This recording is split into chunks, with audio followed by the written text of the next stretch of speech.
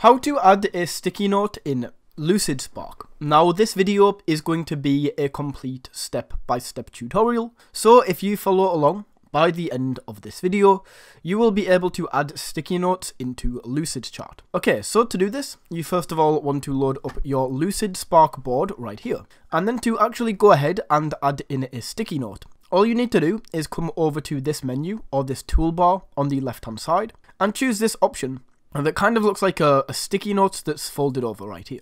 So go ahead and choose this and then we can choose a colour that we would like this sticky note to be. I will go with pink. And then as you can see, the your mouse is now going to change to this to this crosshair. So all we need to do is choose where you would like to place the sticky note. And as you can see, that is now going to appear. And then what you can do is you can just type in here anything that you like. So if I say subscribe, just like that, that is how you can add a sticky note into Lucidspark. Thank you for watching.